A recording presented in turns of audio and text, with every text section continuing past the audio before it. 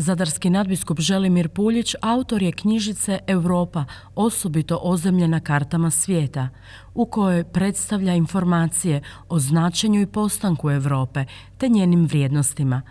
Povod je ulazak Hrvatske u šengenski prostor nakon procesa koji je trajao 19 godina.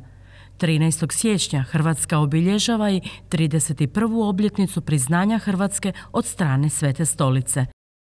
Kad gledamo sada unazad, kad gledamo to, onda ima prava naš pokojni kardinal Kuharić koji je nekoliko navrata bio svjestan stanja u kome se nalazimo, ali isto tako svjestan hrabrosti i otpora agresiji koja je bila na dijelu, rekao je ovdje su se čuda dogodila.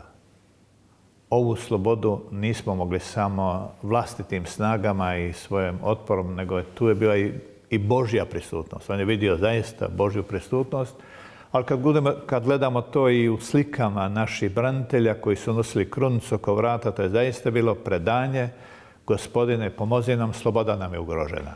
I volio bi da ljudi budu svjesni te slobode koju se osvojilo, te neovisnosti koju se obranilo i osobito bi volio da budu svjesni zahvalnosti i Božoj intervenciji koja je u tom, u tom trenutku bila na pomoć ljudima koji su branili svoje ognjište, svoje svetišta, da to nikad ne zaborave.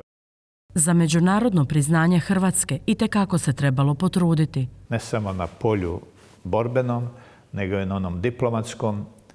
I nije jedan put e, rečeno ili u, ovim političkim krugovima, krugovima crkvenim, kako u to vrijeme nismo imali veliku podršku ondašnjeg evropskog, rekli bismo, samita, nego da pače.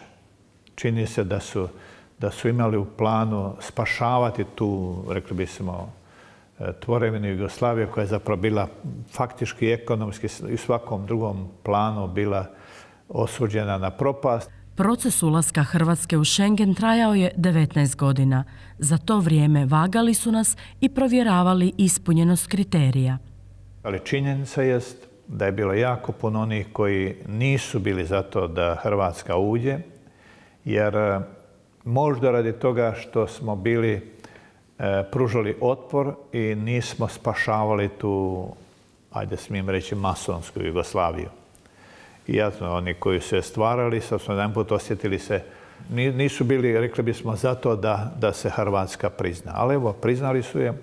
Nadbiskup Puljić sudjelovao je s još četvoricom hrvatskih biskupa na prvoj sinodi o Europi u prosincu 1992. u Rimu. Bilo je simpatično nakon tih svih intervenata. Dolazi Somalo, koji je inače španjolac, a predsjednik je bio tog odbora. On je poslije podne, kad je počeo rad, rekao mi smo ovih dana čuli našu braću iz Hrvatske.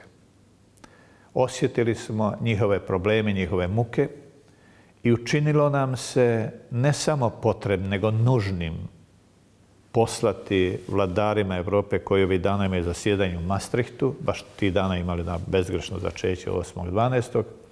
1992. imali su službeni susret gdje su određivali jedinstvenu monetu, dakle tad je euro bio na tapetu, jedinstvenu vanjsku politiku i kare idemo im poslati da mi kao biskupi Europe suosjećamo s našom braćom iz Hrvatske jer je Hrvatska u smrtnoj borbi.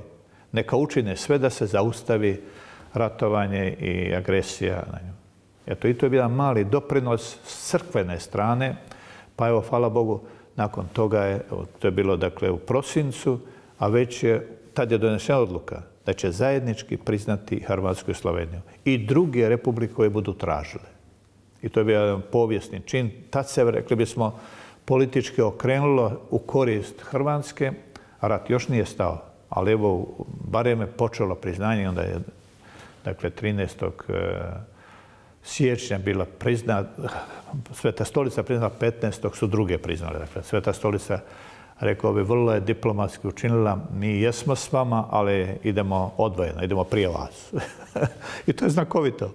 To Ivan Pavo drugi koji je zajedno sa svojim suradnicima to učinio. Ali i hrabro. Ali hrabro, dajte hrabro. I evo to je dakle početak kraja rata.